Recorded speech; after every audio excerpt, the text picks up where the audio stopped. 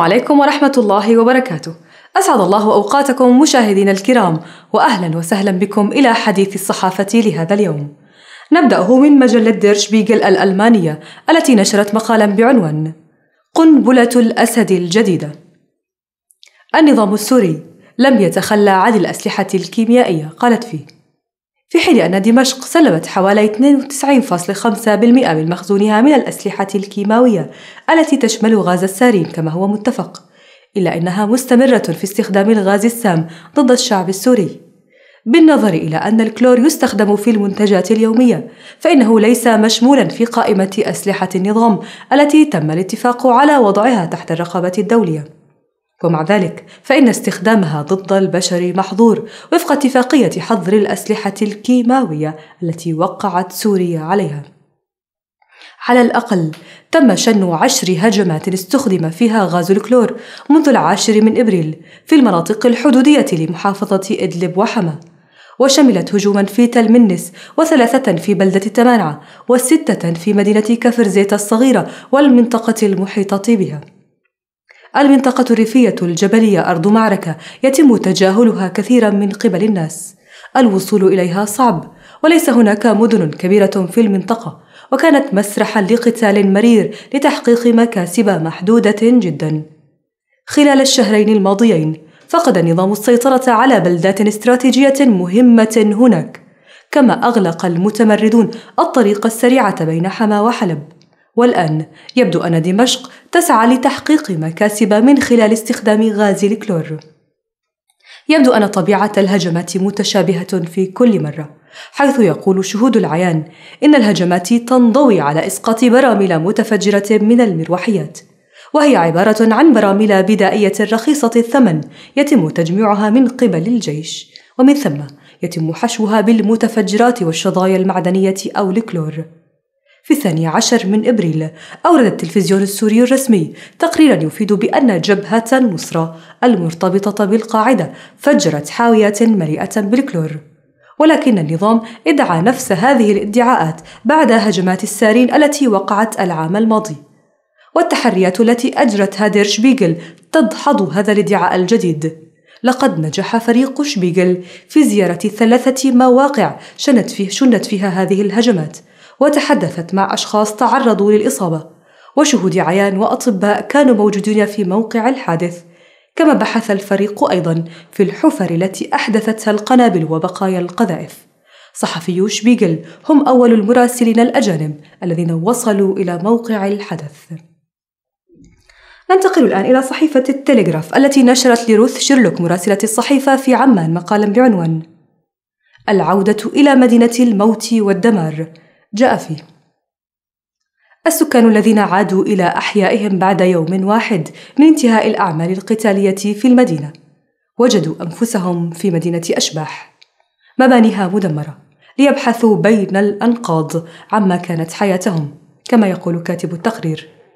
خلال السنوات الثلاث من المعارك والحصار التي شهدتها المدينة وتحولت المنازل والبنايات إلى أنقاض بفعل النيران المدفعية والغارات الجوية للجيش الحكومي. اكتشفت القوات التي دخلت المدينة مستشفيين ميدانيين وشبكة من الأنفاق تحت الأرض.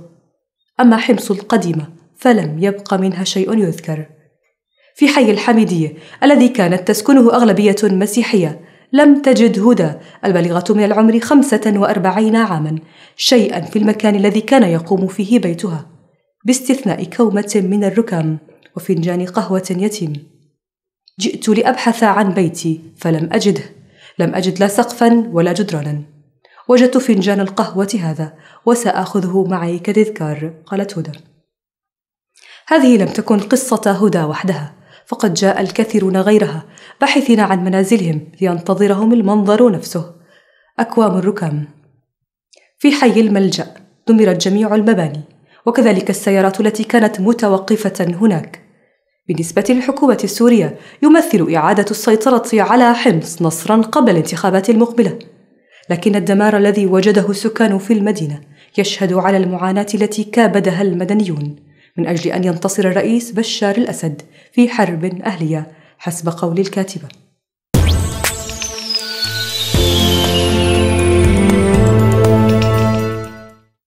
نواصل مشاهدينا الكرام مع صحيفة الاندبندنت التي نشرت مقالا لروبرت فيسك بعنوان لماذا يجري الدكتاتور انتخابات؟ السيسي والأسد ووهم الشرعية. جاء فيه. يستهل الكاتب مقاله متسائلا لماذا يحب الدكتاتور الانتخابات؟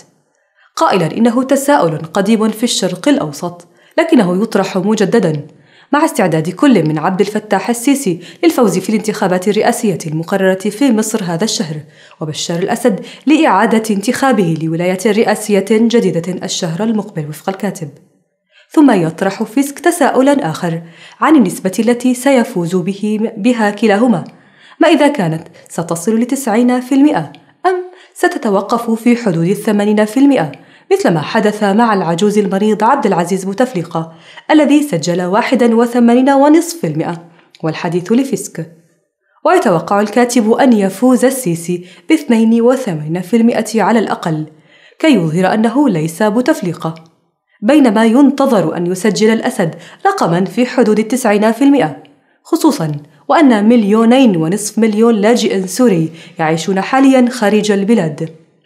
ثم يمضي فيسك قائلا إن السيسي والأسد لا يخوضان انتخابات لأنهما بحاجة لدعم انتخابي. فالسيسي الذي خلع زيه العسكري رسميا لخوض الانتخابات بحاجة لحماية الإمبراطورية الاقتصادية العملاقة للجيش واستثمارات زملائه الجنرالات في الطاقة وشركات المياه المعبأة والعقارات ومراكز التسوق ومتاجر الأثاث بحسب الكاتب. وهو ما يبرر اعتقاد السيسي بأنه من غير المناسب أن تكون للمدنيين سلطة ما على ميزانية الجيش. أما الأسد على الجانب الآخر فيسعى لضمان موت محادثات جنيف التي كانت تهدف لتشكيل حكومة انتقالية متسائلا. إذا صار الأسد الشهر المقبل رئيسا أعيد انتخابه. كيف يمكن تشكيل حكومة انتقالية؟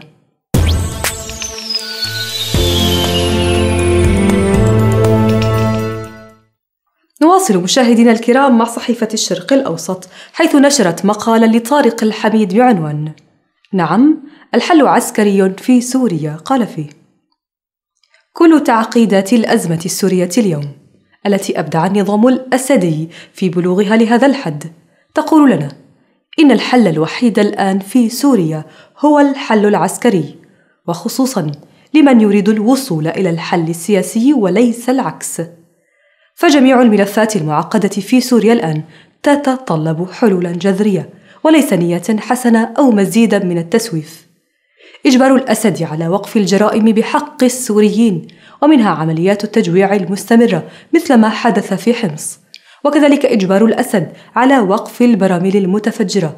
لا يتطلب مفاوضات بل إنه يتطلب القوة العسكرية لأن هذه هي اللغة الوحيدة التي يفهمها الأسد وعملية كسر شوكة حزب الله.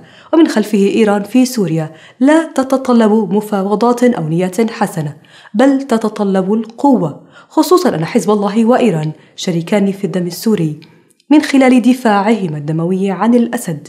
وأكبر خطر هنا هو الصمت عن جرائم إيران والحزب في سوريا من أجل عدم تعطيل المفاوضات النووية الغربية وتحديدا الأمريكية مع إيران التي لا تتوقف لحظة لا سياسيا ولا عسكريا ولا حتى إعلاميا عن الدفاع عن الأسد وحمايته رغم كل جرائمه. كما أن عملية تطهير سوريا من القاعدة وغيرها تتطلب دعما عسكريا نوعيا لمقاتلي الجيش الحر الذين يقاتلون الأسد وحزب الله والقاعدة في الوقت نفسه.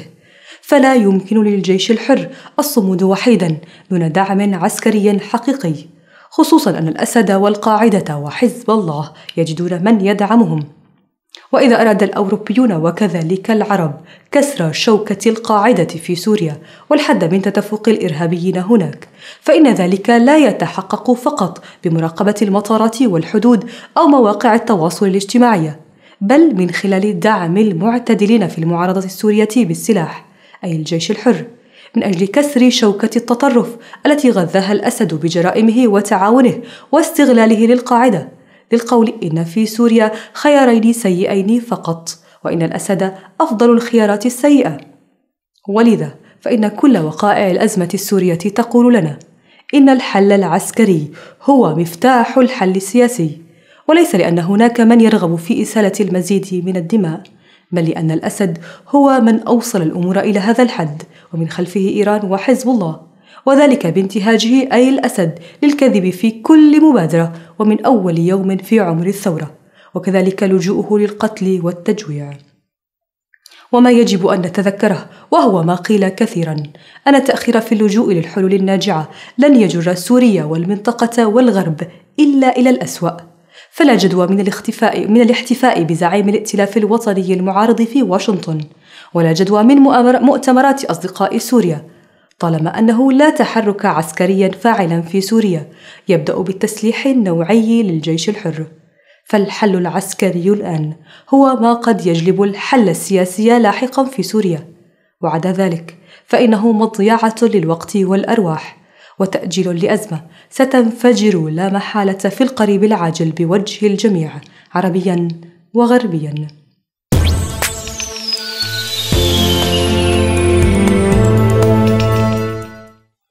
حديث الصحافة متواصل معكم مشاهدينا ونقرأ الآن في موقع هبرلر الإلكتروني الذي نشر مقالا بعنوان لماذا غير الغرب اتجاه بوصلته من دمشق إلى كييف؟ جاء فيه سوريا بعيدة جغرافيا عن أوروبا بعكس أوكرانيا فهي جزء من القارة وتحد دولا أعضاء في الاتحاد الأوروبي والناتو فهل الجوار الجغرافي هو السبب الوحيد في ضعف اهتمام الغرب بالحدث السوري؟ أم لطول عمر الأزمة بدمشق وتسارعها بكييف؟ يختلف إيقاع الأزمة وحركات الحدث خلال الأشهر التي مضت في سوريا وأوكرانيا. يختلف موقع البلدين وجوارهما ويصل الاختلاف إلى حد عدم الاتفاق على تسمية ما يجري فيهما من قبل أطراف خارجية وأخرى داخلية. فالتسمية تغيرت في سوريا من انتفاضة ثورة حرب أهلية أزمة إلى احتجاج. ثورة انقلاب وصولا إلى الخوف من حرب أهلية في أوكرانيا. رغم ذلك فأن الجميع فإن الجميع متفق على أن خيوط اللعبة في دمشق وكييف هي بيد الكبار. الولايات المتحدة الأمريكية روسيا والاتحاد الأوروبي. فإلى ماذا يعود تراجع التحرك الغربي تجاه سوريا وتركيز الغرب عموما على أوكرانيا؟ يرى بعض المراقبين أن العامل الأهم في تركيز الغرب على كييف يعود للقرب الجغرافي لأوكرانيا. ويعبر عن هذا الرأي المحلل السياسي الدكتور خطار أبو دياب إذ يقول أتت الأزمة الأوكرانية لتبين أنها أهم لأنها في قلب أوروبا وأن عودة النزاع في أوكرانيا أشار إلى مناخ حرب باردة كانت بدأت معالمها في دمشق وتوضحت أكثر في أوكرانيا. وأوكرانيا يقول الدكتور صلاح زقوت رئيس البيت العربي في أوكرانيا. اللاعبون الدوليون سواء كانوا روسيا أو الولايات المتحدة أو أوروبا بعيدون جغرافيا عن سوريا. لهم مصالح بكل تأكيد ويتدخلون في سوريا لكنها بعيدة نسبيا. تراجع الاهتمام بالملف السوري لم يكن ولد لحظة دخول الأزمة في أوكرانيا مرحلة التصعيد بين السلطة والمحتجين. بل أن تركيز الغرب على قضية التخلص من السلاح الكيماوي السوري والتحرك الروسي الداعم لإنهاء هذا الملف غير من الخطاب الغربي عموما ولخص القضية السورية بالملف الكيماوي وحده وذلك قبل فترة من ظهور الأزمة الأوكرانية. عن ذلك يقول الدكتور أبو دياب عدم الاهتمام بالموضوع السوري ظهر قبل الأحداث في أوكرانيا لأن النزاع السوري تحول إلى نزاع دولي متعدد الأقطاب خاصة بعد عدم قدرة الغرب على مجاراة اللاعب الروسي على الساحة السورية. ويشير الدكتور خطار أبو دياب إلى أن الغرب ينظر إلى الملفين السوري والأوكراني بشكل مختلف تماما ويقول نحن لسنا أمام خطين متوازيين بمعنى الكلمة. نحن أمام مناخ حرب باردة جديدة بدأ في دمشق وامتد ليبرز في النزاع الأوكراني. تربط روسيا وأوروبا وخاصة ألمانيا مصالح اقتصادية قوية. فأوروبا تستورد ثلث حاجتها من الغاز الطبيعي من روسيا التي تمر عبر أنابيب خطوط غازها المصدر إلى أوروبا عبر أوكرانيا.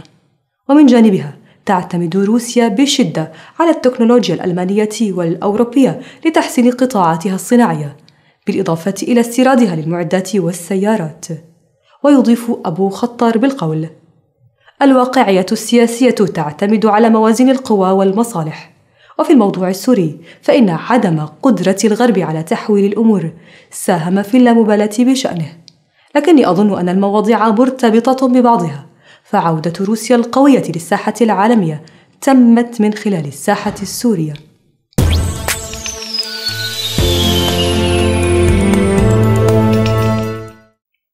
نصل مشاهدينا الكرام إلى آخر مقالاتنا في حلقة اليوم حيث نشرت صحيفة عنب بلدي مقالا لبيلسان عمر بعنوان الصورة أصدق أنباء من الكتب قالت فيه بات التقاط صورة تذكارية جزءا من الثقافة الاستهلاكية لدى الكثير من السوريين. يخزنون في ذاكرة كاميراتهم مشاهد قد تعجز عقولهم عن استيعابها. وقد تفرغ أشخاص كثر لمهمة التصوير في الثورة مثلا في من عرفوا باسم النشطاء الإعلاميين. واستشهد العديد منهم وهم يحملون عدساتهم يتقصون بها الحقيقة. آملين نقلها إلى صاحب بصيرة يترجمها أفعالا تليق بإنسانيته. واشترط وجود مصور ضمن فريق التوثيق وحتى في أشد المواقف ألما. يتفرغ أحدهم للتصوير بينما يعمل آخرون في إسعاف الجرحى ونقل الجثث. وتستعمل مثل هذه الصور وسيلة إقناع لمن تراوده الشكوك في صدق توجهات الثورة والمعارضة. وفي الوقت ذاته ينشر النظام بقنواته الإعلامية صورا لجثث تحت الأنقاض أو معتقلين استشهدوا تحت التعذيب غير آبهين بما يعتلج في نفوس ذويهم من ألم. ويرى البعض بأن الصورة أسهل وسيلة لإيصال الأفكار جذابة خلاف السرد النظري ويمكن تفعيلها بشكل أكبر في مجالات التعليم لجذب انتباه الطلاب. بينما تفضل غزل خمسة عشر سنة أن تتواصل مع صديقاتها عن طريق إرسال الصور رغم أنها لا تسمن ولا تغني من حاجة عاطفية للقاء الأحبة إلا أنها قد تفي بالغرض في ظل غياب كثيرين. أول ما أفتح الواتساب. أرسل لأصدقائي صورا وألقي عليهم بها تحية الصباح ونرسل لبعضنا صورة فنجان القهوة ثم تبدأ نشرة المنوعات ونذهب لقضاء الدوام المدرسي. نتبادل هناك آخر ما وصلنا من صور ومقاطع صوت وتسجيلات حديثة ونتشارك طعام الغداء وكذلك العشاء والمشروبات والعصائر بالصور على مبدأ العين اللي بتأكل. ونزين طاولة الطعام لأجل التقاط صورة تذكارية. بينما اختار عامر الالتحاق بصفوف الجيش الحر. فكان كما تقول أخته لا يفوت عليه موقفا يلتقط به صورا مع أولاده علهم يعرفونه ولو بالصورة. وكثيرا ما كان يمازح أسرته ويقترح عليهم التقاط صور تذكارية. تقلب الأخت الملتاعة ألبوم الصور مع شريط ذكرياتها وأخيها وتقول صور عامر نعمة أستأنس بها في لحظات الشوق ونقمة. لأنها تمنع ذاكرتي من نسيان أدق لحظات جمعتنا. وتبقى الصورة الوسيلة الأسهل للتواصل. تذكر أصحابها بلحظات عاشوها مع أحبة باتوا تحت التراب أو خلف القضبان أو حتى وراء حدود الوطن. وتحفظ المدينة الأم بأبهى صورة أمام ما تتعرض له اليوم. وكذلك تبقى رمزا لأشخاص ما زالت القداسة هالة تحيط بأسمائهم. وتعلق صورهم حفاظا على مكانتهم المزعومة أن يدوسها التغافل. مع وجود كثر همهم التصوير لأجل التصوير غير آبهين بما يمكنهم فعله لو تركوا الكاميرا لحظات. بهذا مشاهدينا الكرام تنتهي جولتنا من حديث الصحافة لهذا اليوم. ألقاكم مجددا غدا إن شاء الله. وحتى ذلك الحين دمتم في رعاية الله. والسلام عليكم ورحمة الله وبركاته.